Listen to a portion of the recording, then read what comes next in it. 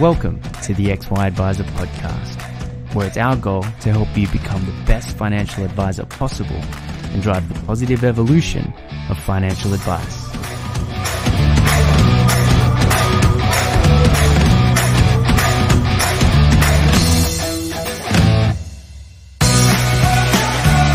Hub24 is an ASX listed company with over $10 billion funds under management and one of the fastest growing platforms in the market. Neither a bank nor part of a bank, Hub24 focuses entirely on connecting advisors to a broad range of investment solutions for their clients. Discover why other advisors think Hub24 are the best in the market and access the benefits of choice and efficiency for you and your clients with their market leading managed portfolio solution. To find out more, visit hub24.com.au. G'day everyone, Clayton here from XY Adviser, chatting with Andrew from Core Data. How are you, mate? Yeah, very well. Excellent, excellent. Um, so we were just having a really brief conversation then about some of the things that you think are important trends in financial services, and uh, I got to say your answer was probably more in depth and uh, well researched than most of the answers I get. So um, at that stage, I was like, wait, hold because we're going to have to start again. Um, so we, we spoke about three different things. Uh, and so I think the first one um, was, well, actually, the, probably the last one we're speaking about, but I think had had several arms to it, was the fact that the baby boomers are essentially all but hit drawdown phase, or call it age 55. They're in the last part of their savings phase. Yeah. But it's the smallest part that in the last phase. If you think about the baby boomers as a curve post war, which ran from 49 to 64, Yep. you've got to remember that all those titles uh, uh, that, that exist baby boomers, Gen Y, Gen X, Gen Z they're not really good demographic titles. They're mostly psychographic titles, and they weren't really done by researchers. They were mostly done by journalists. Gen X, for example, is a Fair name play. which comes from a man called Douglas Coupland, who is a journalist who wrote a book about it. Yeah, right. Gen Y, Gen Z, same things. They came from journalists, and they're, they're intergenerational titles used to describe behaviours. Baby Mm. boomers are a demographic lump because there was literally a baby boom after the war. Now, baby boomers had two other significant advantages over everybody else. First is that um, most of the labour, the skilled labour that they were replacing, was killed in the Second World War, so they were able to reprice labour. Wow. And the effective repricing labour also repriced capital assets. And the most common one of those is your house. So housing got repriced during that time because people could choose to invest in their house and spend on their house and do those types of things. And there's been some beneficial tax treatments of that asset which have made it attractive and made it a great way to store money. So, and Australians in particular are good owners and buyers of houses, Australians, New Zealanders, not so much in other countries. The really interesting part about that is you're right, the youngest of those, the people born in 64, are now turning 55. We've got kind of three months left of those people turning 55. And what we know from all the research we've done over the past 20 years, at 55, savings behaviour starts to change. We call this the sprint to retirement. And so people start to really, really push into retirement and start to think about it. Consumers suffer, most consumers, about 80% of consumers, suffer from this thing called temporal dissonance. If a problem is far away, we don't really consider it. But if you're 55, retirement is real. If you're 55, the first parts of your body are breaking down. Remember, most people don't retire because they choose to retire. Most people actually retire for health reasons. That's the most common right. reason, right? So all of a sudden, if you're 55, I'm 55, I'm the youngest of the baby boomers. My back's hurting. My knees are hurting. Can't, Right. I can't run on cement anymore. I have to run on the soft sand. Mate, you're not slowing down anytime soon. I can well, tell. there's, there's a kind of intellectual drive behind that. But all of a sudden, I have to now think about retirement and think about the kind of end of work and what that looks like. This is kind of the last third of your working life. You have your first third where you're building your skills and you're choosing your career and your boss. Your second third where you're really building your career. Mm-hmm. And your last third of your career is you're kind of managing your way out to the next cycle and into retirement. And if you can choose to have that active, you're lucky, but most people, that's a kind of passive event. So all of a sudden, this is a big deal. But if you think about that curve slightly differently, the vast bulk of the baby boomers are probably in their 60s now. So this is very real. The most common birthday in England, for example, this year is 70. So the most commonly occurring birthday. No most, way. Yeah, yeah. So yeah, it's really interesting. So if you want to make money, invest in birthday cards for 70 year olds. but think about what that does to the economy in terms of what the money's doing. yeah. So the thing that we've got to think of, if you're a financial planner in Australia now, your skills are going to become really important because there's three things that are going to happen. One is that people are going from earning to saving and saving well structurally to the right products, into the right asset classes, etc. That's a skill. Most people don't have it, they need help. The second group, the people who are 65, they've moved into drawdown. Doing that well is really important. And if you're 70, you're starting to think about, well, passing the asset on. And the three big fears of the people passing the asset on is that there's, they've structured it improperly, they give too much money to the government. Yeah. There's an improper distribution. Someone who they don't like or don't understand well gets the money. Yep. They shouldn't have the money, or they get a lump sum, and it's really dumb to give person X or person Y a lump sum. And the third one is that an improper purchase is made, is that someone buys a Ferrari and sticks it in the driveway of their flat instead of buying the flat and sticking the Toyota How in the dare you call a Ferrari an improper purchase? Well, as a as a lover of German cars, um, I don't see enough. the Italians as great. Although the Italian designs of the 1960s, particularly the early Ferraris, were absolutely beautiful. but uh, I think they lost their way in the 80s. The Magnum PI Ferrari was possibly the last great car. Oh, mate. um, so I, I, I got to dive into why you understand this so well. So and uh, so you used to work at uh, AMP. You're now CEO um, at Core Data, and all this stuff it- it's just rattling off your. So let me tell you a little bit about the, the kind of my background. I started out um, wanting to write about economics. I love economics. I love Right. behavioral economics. I, I, I, act con- consider myself a behavioral economist. Right. That, that title is as meaningful as the title juggler or magician. It's not a particularly powerful. It's kind of a group noun, which is not particularly powerful.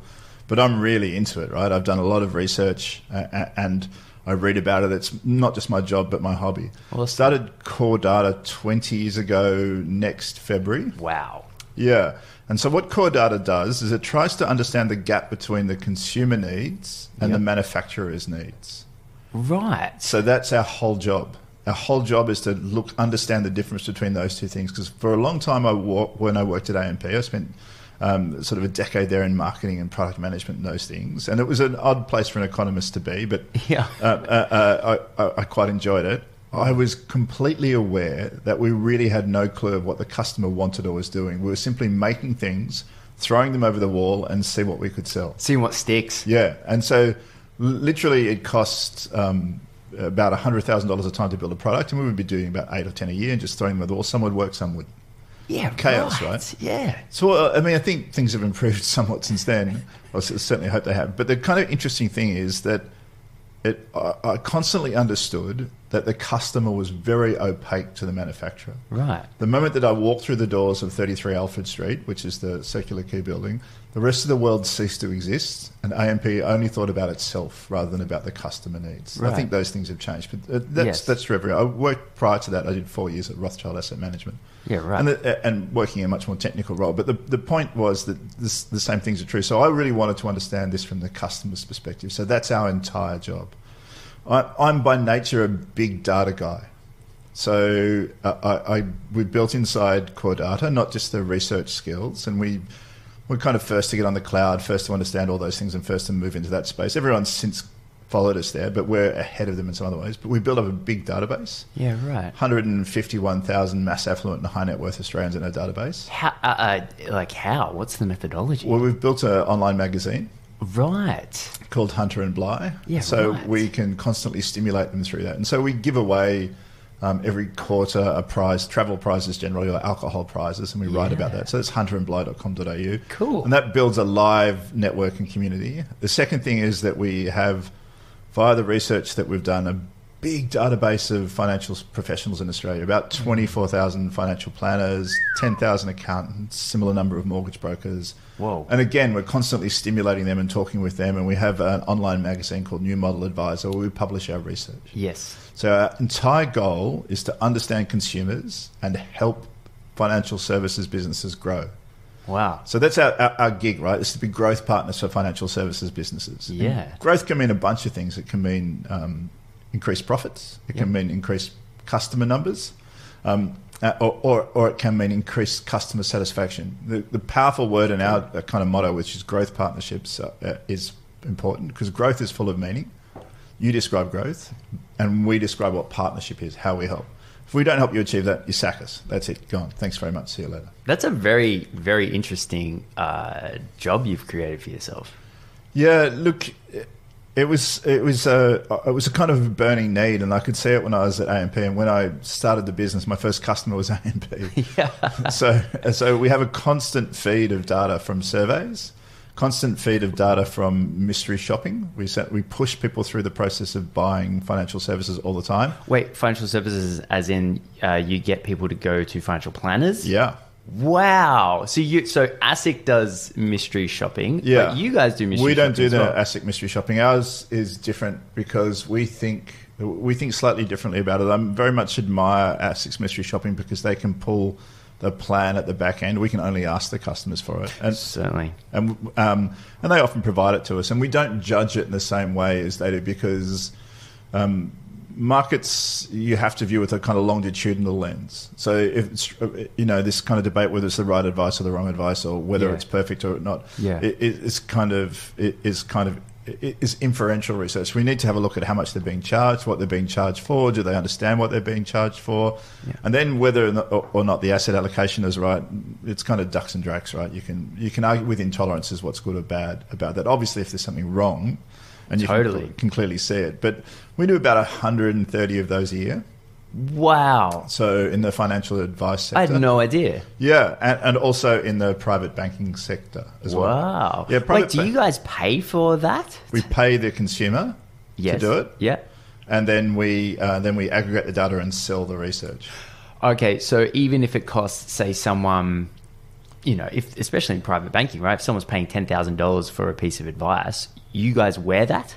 No, so this is really interesting. So the, so it depends. The, the answer is it depends. Right. Um, it, it would rarely cost that sort of money Sure. for, for, for those sort of people. But what we do is we go to our database and find people who are actually looking for the service. So someone who's really wants to buy it, Ah, right? So we go out to 150,000 people, Right. and say, Hey, if you're getting advice, why don't you Get pa- paid to do it, Get right? paid to do it. Oh, that's a pretty good model. you'll earn about $1,500 from us if you do it, right? Fantastic. Uh, so if we're doing, let's at the moment we're doing 120, so that's going to cost us about $200,000. Goodness gracious. Yeah, to, to actually do all the research, and then there's the cost of running the research and doing Yeah, those- of course. all I, those types of things. I, I consulted at um, Adviser Ratings just on the marketing side, but seeing the, the data people working, I know it was a bloody a lot of work. Really smart people working very look, long hours. they're- they're- I mean, they've they've got a big hill in front of them. They don't yet have the database. They, I mean, so whereas we've spent the last 20 years building that database, Yeah, and we've got 20 years of linear data. It's all in, the, in our data lake. Oh, the, the longitudinal is that? yeah, yeah, yeah. So we've got yeah. long, we've got the we've got 20 years of research in a giant data lake. Christ Almighty. So uh, even now, when people say we need to do some research, then we well, you don't really need to do the research. we've, we've got we did this in April, right? Yeah, So- man, that's super interesting. So, uh, um, one of the things that we were speaking about before we turn the mics on, I think we definitely need to speak about it, is um is the fact that as the big end of town have left advice, you've got a bunch of people that are now unadvised, but they're unaware that Yeah, they're this is, this is kind of this has happened in two areas. It's happened in advice and also inside insurance. There's people inside superannuation, particularly where the, the compulsory insurances have been turned off and the multiple insurances have been turned off, and the the insurance companies, the superannuation companies, have done everything they can in terms of writing to people and contacting them and saying. Because I'm I'm in the business of understanding this. For example, I've got multiple superannuation accounts because I want to see what they're doing, how they're communicating, wow, et cetera, et cetera. interesting. So I run industry funds, I run retail funds, and I run uh, all the neo businesses I've got. I've got relationships with because I want to see how they communicate with me. Totally. and then I can benchmark them, and then I can see what's going on. Awesome. So of course they wrote to me and said we're turning off your insurance, etc., etc. And I observed how, how it did, and I made some choices and, and did my insurances. But I was also really clear of going out to our network and saying, "Have you been communicated with?" And they say, "No, no, I haven't heard from anyone." And we know that's not true, right? Because we could know in that database, well, person X is with Australian Super, and I've seen the Australian Super letters. I know they've gone out, so they haven't read it or whatever, um, and so they don't know that they're not insured anymore, um, and that's really problematic. It's more interesting and challenging, not just in the Australian insurance, uh, Australian super insurance, well, where they where they have the, kind of the blancmange of all Australians, but in businesses like Cbus or Mine Super, where people are in dangerous industries. where people Yeah. commonly have injuries. Things like Club Plus or Host Plus, where people cut their hands and Yeah. etc. cetera, et cetera. People, kitchen workers. So those guys should be insured. And they should have, they did in the end up getting a carve out. But understanding what those insurances are and how they act is really important to those businesses. Yeah. So the second part of that is that, as you know, BT advice is gone, parts of CBA are closing down, other businesses are shutting down, etc cetera, et cetera. Um, and they're of course communicating with their um, the, with, the, their advised customers as, as well as they can, uh, either by phone or by letter, and telling them that they're no longer advised. But that's not a perfect process. And the really interesting part about that, and I'm not going to name the company because it's slightly unfair, is that I was a customer of one of those companies that closed down, and the guy who was my advisor simply rang up and said, You've probably heard that we're shutting down. I don't know what this means. I may be moving to company X or company Y, or I may not. And that was the last I ever heard of him. This is your actual financial plan. My actual financial planner had to give you that call. gave me that call and has no and no one has communicated with me. They've still got my money. I don't know who's managing it, how it's being managed. Stop it. No. Holy damn. So, I'm a previously advised customer of Bank X Yes. with X dollars in there, not an insubstantial sum because I'm Yes. kind of an old guy. um, and I'm going to have to figure out where this is going. And how many of these people like yourself do you think are out there? About half a million. Half a million. Yeah. So, uh, from an advisor point of view, they're listening, going, "Okay, so you're telling me that there are half a million people that have uh, that are used to having a financial planner that now no longer have a financial planner." Yeah, no, I've gone and found one, and it's a painful process. Sure, but you have, but the No. majority of people aren't. Exactly. So, here's the money question: How do advisors find those five hundred So thousand the- people? The, really interesting challenge is that there's not actually an easy way to do it because the businesses don't have a good plan for this. And there's some of this is naturally occurring, right? Say your AMP, you've got people retiring all the time, so those people go into a pool and they should be allocated out, et cetera, et cetera. Yeah. And all the banks are the same choice. Two of the banks have shut their practices down. One of the banks has changed the ownership structure of who, who it's gone to, so it's now owned by somebody else. Yeah. All of that means flux and change, and communication to that flux and change is really important. Now, if you're poorly communicated with, and there's a lot of people who are very poorly communicated with me, you start to think, well, I'm going somewhere else. So now I have to choose someone. So there's a really piece of interest, interesting piece that we're doing now, and the mystery shopping that we're doing now is showing that people aren't actually easy to choose. Consumers are concerned about the future. They're very worried about the future. They're not a blank slate. They're not what the psychologists would call a tabula rasa. They actually come to this with ideas. They come to it with a history of a poor experience. This is not good. They're transferring some of that threat and fear onto the new advisor, and they're looking for, in the main, a fair amount of hand holding in the first meeting. At the moment, it's difficult to make appointments. People are busy. They're getting, it's taking up to two weeks to actually get face to face with people yeah. which is you don't feel particularly loved if you're asking a girl for a date and she says, "Yeah, I can see you in November." Not Totally. joking. People are trying to make appointments this week and being told we can't see you till November 14. Yeah, crazy. And everyone's going, "Well, forget it. I'm Yeah. going to find someone else." And especially if, like you say, in, in the situation you were in before you found another advisor, it's like, well, I'd like to talk to you, but I can't even talk to you. You know, from the advisor's point of view, right? Um, and from the client's point of view, it's, well, where do I book my meeting if I can't even get? If you don't even, if you don't know where you're going, then I certainly don't know where you're so going. So yeah, and um, the thinking is, you know, did I want to stay with the person, the advisor that I was with? I probably did because he knew the history and he was actually reasonably good to, to deal with. The person I really wanted to stay with was his office manager, who was fantastic. He'd ring her up, he'd say, "I need to do A, B, C, and D." Yeah. she would do it. She'd send you a note. It's done. Fantastic. This is the person who was actually changing my life. I tell you what would be a really good marketing effort would be to promote yourself as the new home for former uh, clients of the big banks. Yeah, there's a really interesting challenge in that because then the range is so diverse. And so if you would take even Westpac, for example, a business that I really liked in history, Yep. both their private banking advice has disappeared Mm. and their BT advice has disappeared. Some of it's gone to Viridian, but a lot of it's gone kind of nowhere. That's so nuts. It's interesting, isn't it? Imagine if that was a lease or a mortgage. Or just any any professional service, any Yeah. any group of clients in any field. It strikes me that ASIC was shocked by that, that there wasn't a plan for these people. That they were like, what do you mean there's no plan?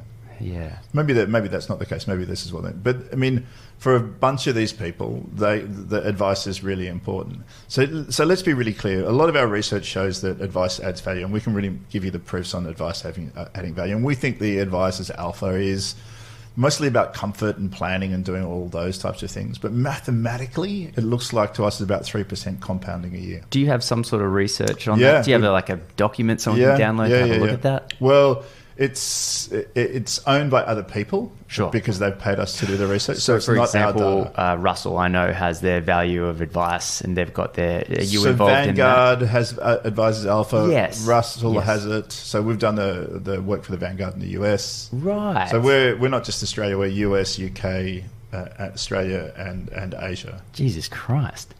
How did I score this interview? You rang up and asked. Um, uh, and we're just around the corner. Thank God. Uh, so, so we're doing that around the world. National Australia Bank is doing a lot of work in that space. They understand it really well, and they're understanding how to sort of make their offer so that they provide the most value to the most clients. And that, that that's on a spectrum. So if you think of everyone from your My Super client, someone who has the most basic needs, to someone who has really complex needs, which are structural, intergenerational, and otherwise, and you've got to be able to meet them in each of those areas, and that's really important.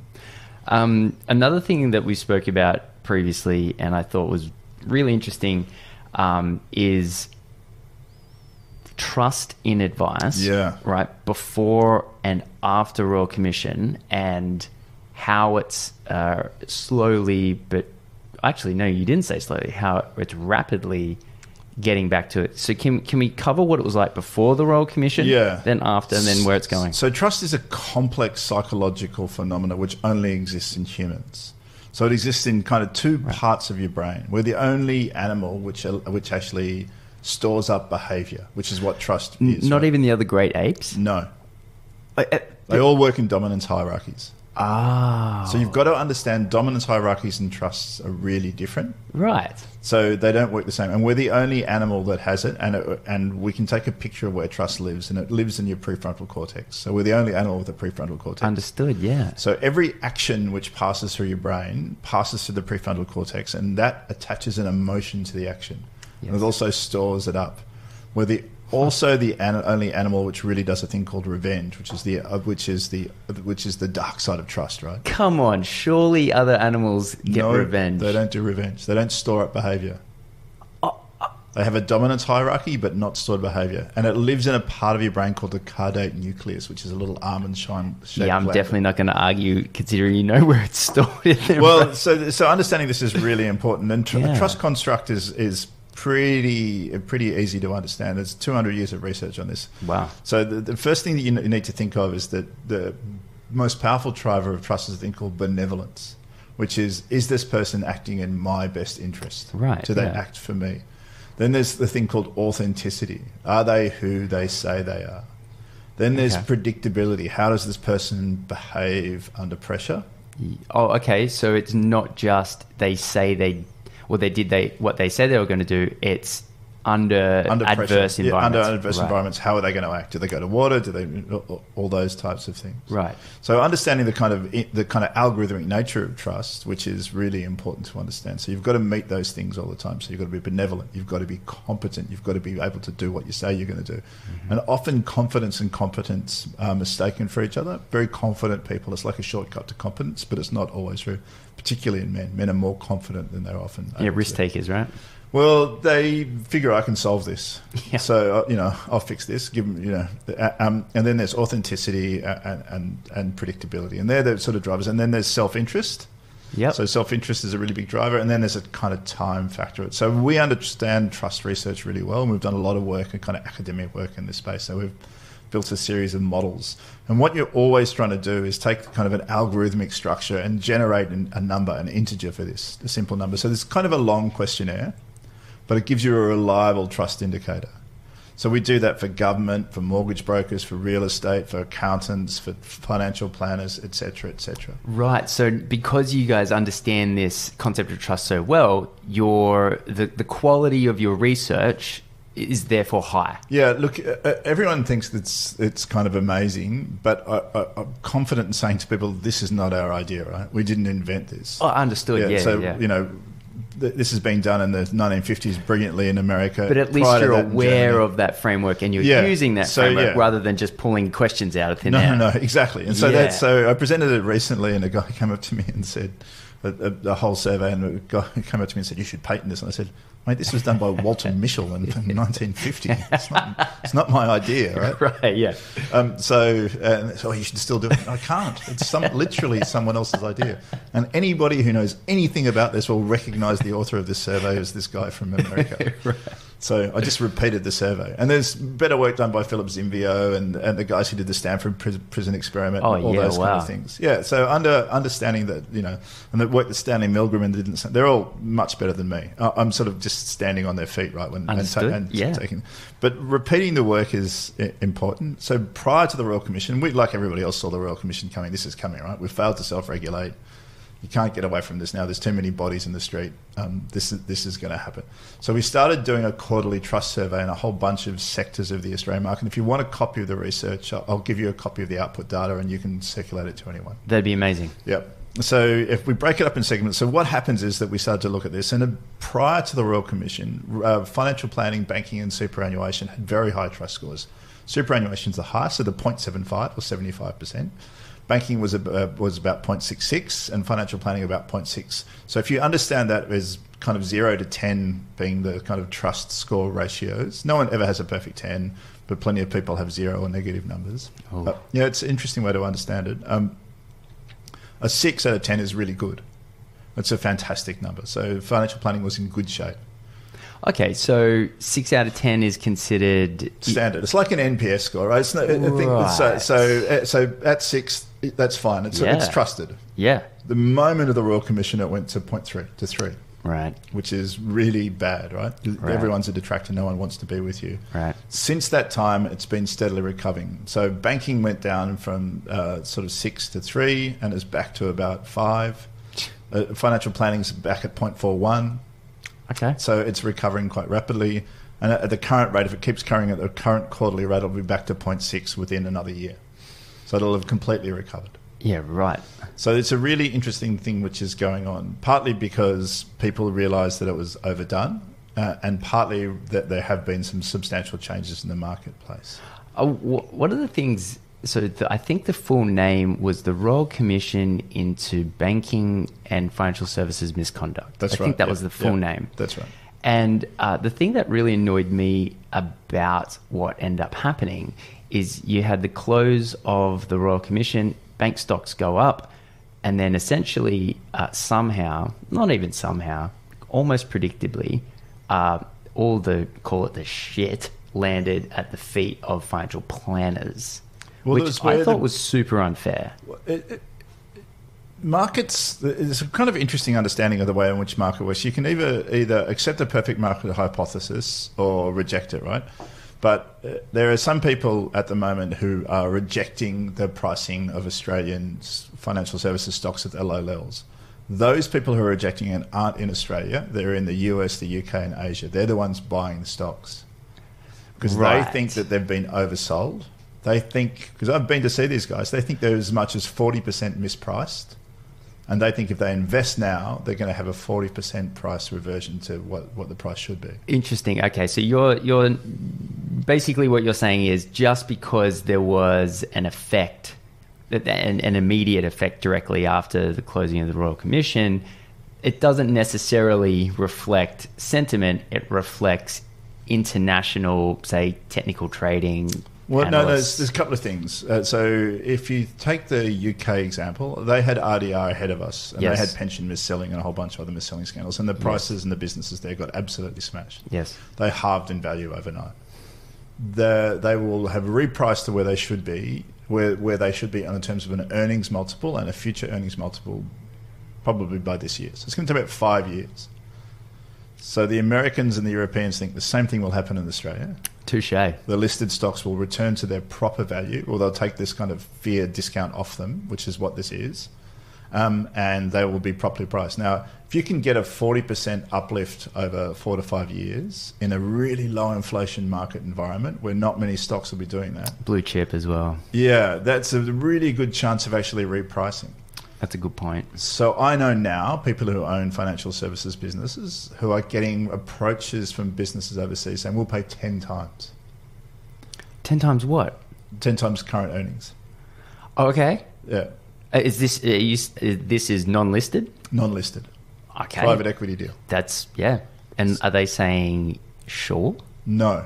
The Ah. ones that I know are doing it, saying, "We'd like to talk to you." And I- I'm not going to break any confidences. No, because no, I know no, these of people course. really well. We're not. We're actually in acquisition stage because we just bought a business for 1.2 times, Yeah, right. and we're got buying other businesses for one times, and we're in a growth path at this stage. So why don't you come and see us in 2025 when we've hit our, our growth?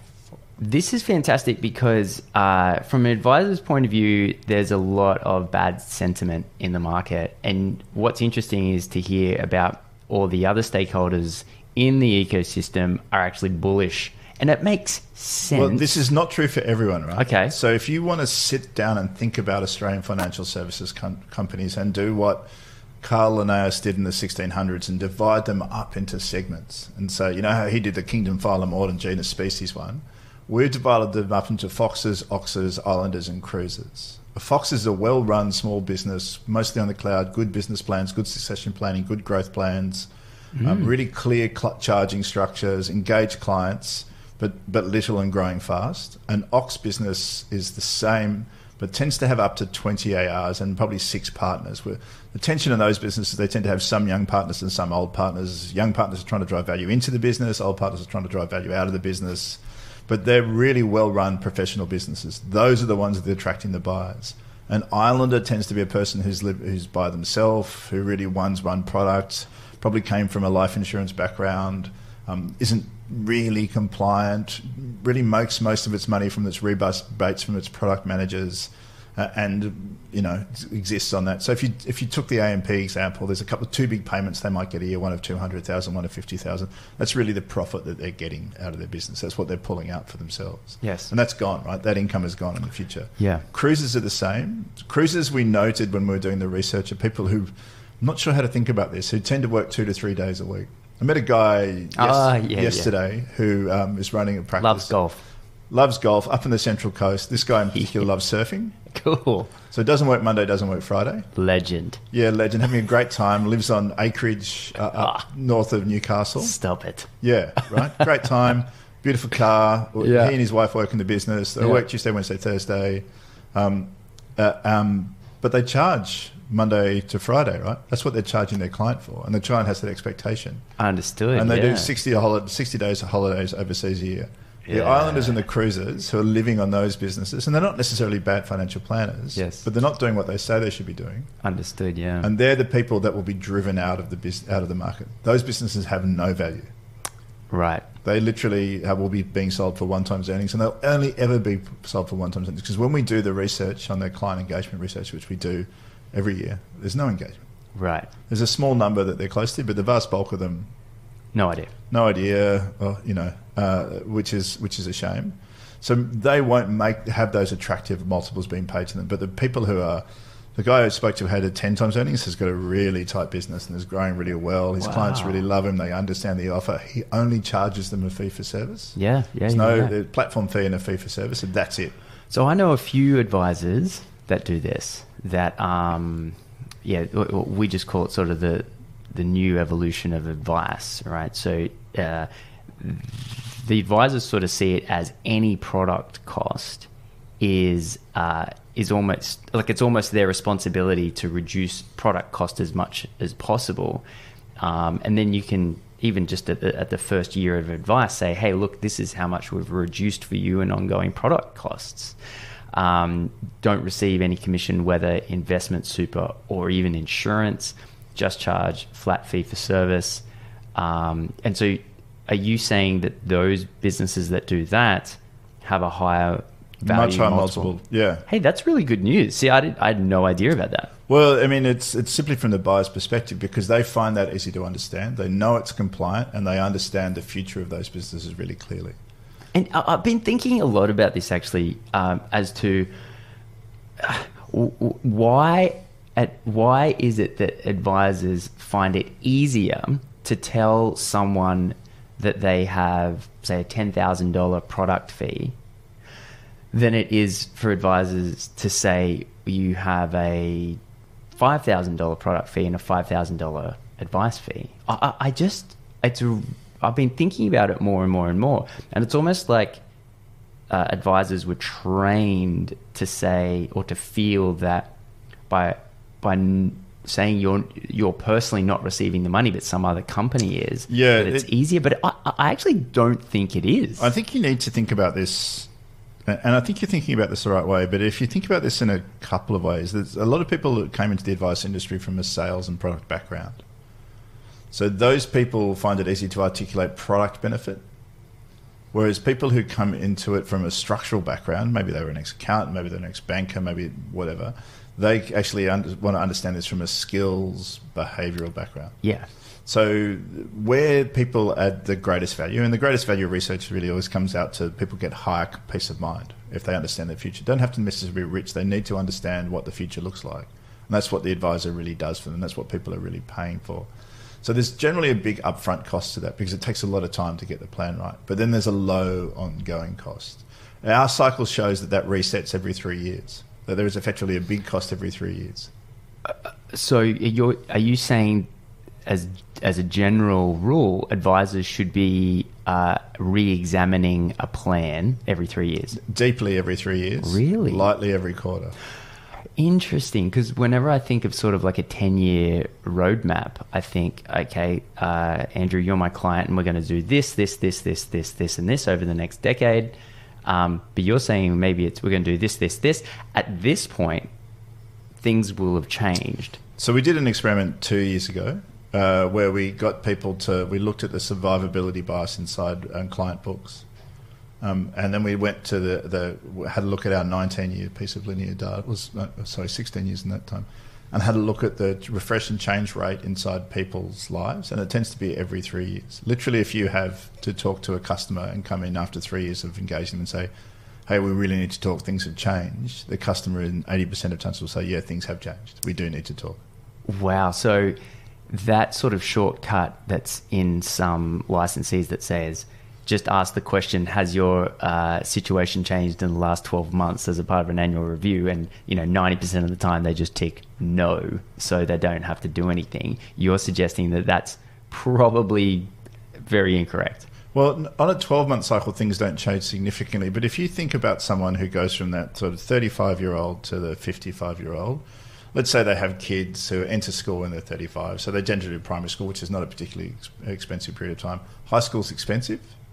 So we, we need to talk about that, right? We need to talk about that. And that could be a 12 year cycle if you've got three kids where you actually have to manage the cost of raising those kids. Then they go to the university stage, and that, that's less expensive, but the needs are slightly different. And then let's say they go the post university stage. And one of the things that happens when people are post university is that people get a lot of income back because they're not paying for the kids anymore. The kids are earning their own money. Right. So big cost phase, low cost phase. So unless you've got a good advisor, you might spend that new income. You should be saving that. Yeah, yeah. so yeah. you should be saying, well, okay, um, your children are out of university now. You're literally getting, let's say it's three kids, you're getting $28,000 in the hand back now that you were previously spending on the kids. What are we going to do with that? Are we going to put that in super? That's a great place for some of it. Are we going to be buying other investments? That's a great place for some of it. the 1980s Ferrari. Well, look, um, I, I'm a Porsche man. and That's right, German, yeah. Yeah, uh, I like the 1987 wide-bodied 3.2 liter um, horizontally opposed air-cooled six-cylinder. That's I like to um, I like to bash my knuckles on it. Awesome. But I also know I've got a few investments. Pound for pound, that has been my most successful investment. That has been my Macquarie Bank of Investments. I bought it for X thousand dollars, and it's tripled in value. No, Absolutely that is in the time that I've held it. To the point where I'm thinking about cool. of selling it because I'd like, if someone's going to give me that much for it, they can have it. Oh man, I've never I've never heard such an appreciating asset be uh, appreciated so much. Well, I like driving it, but I'd also like to have the money that it's worth. yeah, fair play. So you know, they just don't make those cars anymore. And I also, I was having this conversation with a friend. I think I'm the last generation that appreciates it. The generation behind me doesn't care about old oily Porsches. No, so uh, so I'm 36, and um, and my first car was a 1970 something Toyota Corona, and uh, I started The butter box. The uh, what, I never called it that, but it was very boxy Yeah, looking. yeah, yeah, that was called the butter box. Oh, was it? There you go. The 180, 1.8 liter. I mean, I know my cars. That's awesome, man. Uh, it was aqua as well. It was crazy. Ah, Man. uh, it's Nippon Blue. Uh, oh, it, actually, that was the name of it. Yeah, that's the color. oh my god! I know all this stuff, man. I'm a weirdo. That is awesome. Um, so, uh, so I um, moved to Sydney like about eight years ago, and all I had at the time was a motorbike. Um, also, I was single, so you know you have a motorbike. Motorbikes are you- fantastic, man. You've Yeah. got to have at least three in your life. That's a good point. And then um, uh, I met uh, Vera down here. We've since married, and uh, and for the last handful of years, I've just had no vehicle. Right, so uh, I live sort of in the city.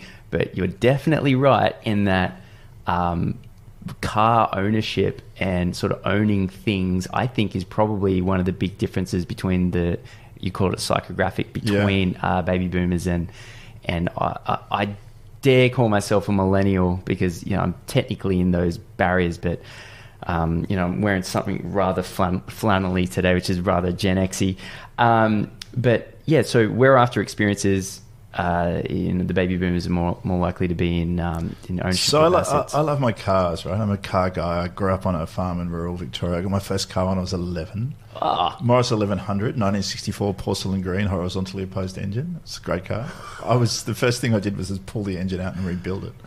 Dude, that is so awesome. Yeah, yeah. I could I could rebuild that engine, the Holden 186, and the 20 Holden 202, and possibly the VW engine blindfolded because I've rebuilt them so many times.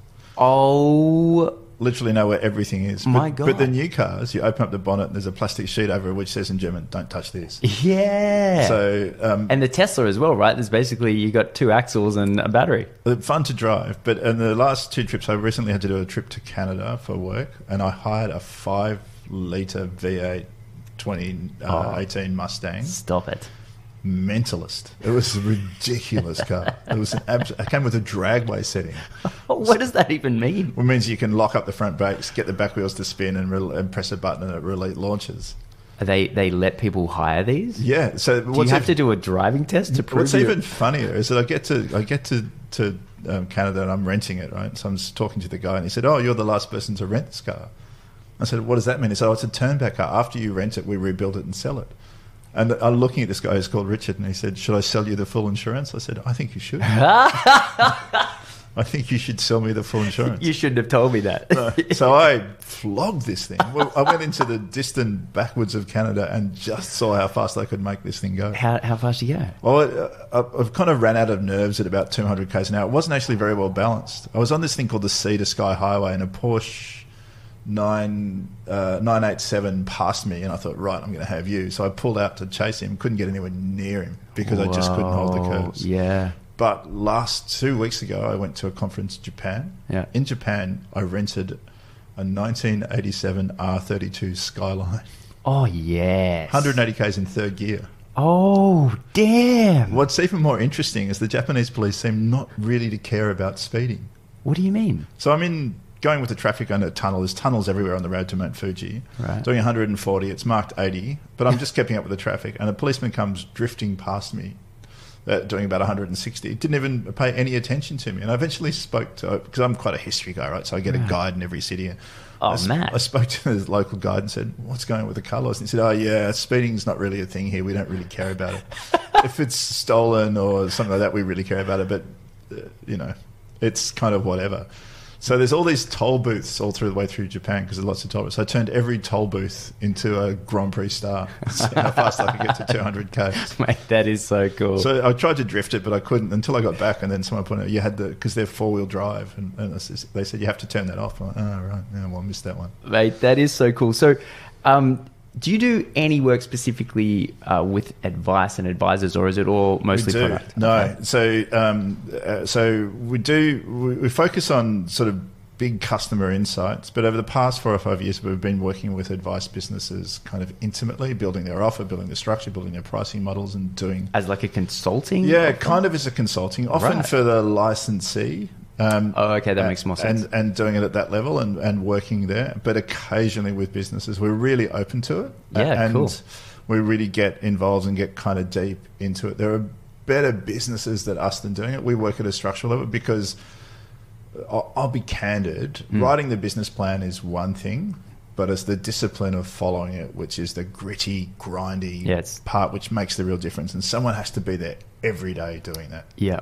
So, for example, inside Core Data, we've got the 100 day fitness challenge. If you do a half an hour's exercise and you have to take a photograph of yourself doing it, um, uh, uh, Really? yeah, and just post it to this chat group that we've got, Huh. uh, and it, and um, uh, we will reward you. There'll be sort of economic rewards inside the company. If you do a half an hour's exercise a day, we'll pay you a bit more money. That's crazy. Are you saying this is your employees? Yeah, Oh, you've got your own little, uh, what is it, AIA Vitality going on. kind of right.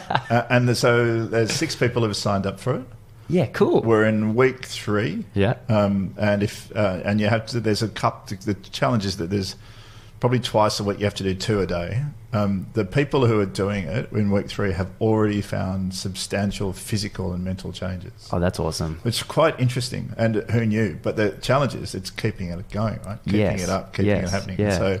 We all know to lose weight, we've got to eat less and exercise more. Yes. Half an hour is really an hour, really, of exercise every day Whoa. fundamentally changes your life. Yeah. And, uh, but it's grindy, right? You hung over. Like, oh, man. went to a conference into, in the Southern Highlands this week. Yeah. Drank too much champagne. Ugh. Well, free champagne. And Yeah, um, I what are you going to do? But then know. woke up at five fifteen and thought, well, I've got to do it because I've got to take a picture of me doing it, and I'm the boss, right? Oh, no. So that that hour of exercise is brutal. Oh. But I did it, and I felt great. So. Do you, do, you, do you guys have like uh, wrist things that track? Some of the that? guys do. I Yeah. tend not to. I just say so. I live in a place which is close to a beach, and two laps of the beach is three point two kilometers. So Yeah. you run that hundred push-ups, hundred sit-ups, hundred squats, then around the boys for a swim and back in. That's a solid hour, right? And I try and do that every morning. Oh, man. So, but you know, and take a photo. Here I am doing it, and uh, uh, this is so. I was taking a photo of the location. Everyone's going, yeah, but you might. So then I took a photo of myself covered in sweat, and they said, yeah, don't do that again. yeah, that's too much Yeah, information. exactly. So you don't want to see that. But, But so, so you do similar things for, uh, so you put challenges to financial planners, do you? yeah, well, so we go in and we work with them and understanding their structure, how much. so we look. So the first thing we do is look, look at their customer book and get a really good understanding of that and what's Right. going on. Right. And we do some research and understand what those customer drivers and sentiments are and understand what those things are and look at the gap between what's being provided and what's needed. And often there's a big gap. Yep. One of the most interesting gaps that we've found is the extra services that these people would like, Yep. And that's interesting. When right? you say the extra service, you mean the clients? the clients, yeah. Well, oh, right. Right. So you, you go to their client base and say, hey, what else would you like your advisor to pro- provide? So we've got a That's a good question. A series of tools, right? That's a really good question. Because I think there's so much there that advisors and, and the It's longer. really simple. They just uh, have a part in the questionnaire that says, "Would you like to hear from the advisor?" Yes. yes. It turns out that every time that someone does that, there's something else that they want, need, or a service that they require. Yeah. And you think, well, how long since you've heard from? them? Two years. Yeah. Right. Right. Yeah. Yeah. That's awesome, man. Look, I I think we could chat forever. So let's uh, book in, you know, a couple of months from now. We'll do another one. But thank Sure. you so much for coming on. Really appreciate it. Oh, my I- pleasure. I, learned heaps about, um, Jesus, a lot of stuff, including because I always wondered what core data did.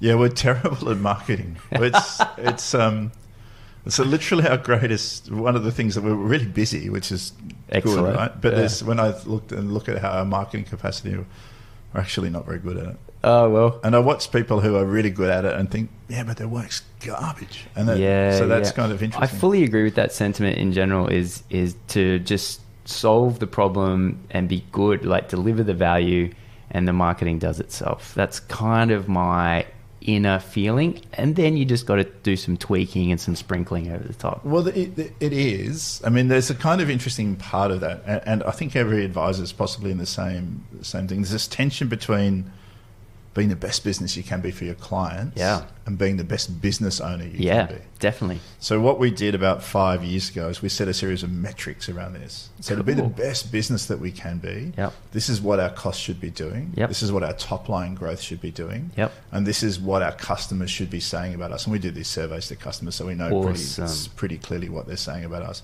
And if they fall outside of the, what people are saying about us, we go, well, what happened here? Yeah. And so sometimes we, we dig into it and we find out it's the client's fault. Well, that's ridiculous. That's unreasonable, right? That's Right. you know Sure. insane Yeah, to yeah, us for yeah. that.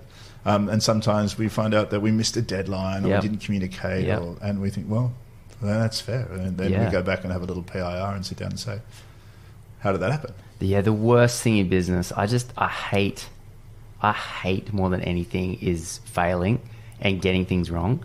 Oh god, I hate it more than anything. But it's an unfortunate, and especially if people get annoyed at you because you did something wrong as well. It's like, ugh, it's just I- a I massive dagger through but the heart. y- y- I mean, one of the things I say to my guys, and, and some people really get that dagger through the Yeah. heart thing, and I will constantly go back to them and say, if it's, I don't know you particularly well, but if it's if you were working for me and you had like one of those a year, say, well, look, you're doing 100 events a year. Yeah. One a year is, that's normal, right? If Yeah. there was 10 a year or 15 a year, we'd be having a different conversation. Yeah. How you handle this is going to be the definition of you, not that you repeat it, right? So let's handle this well and do a good job.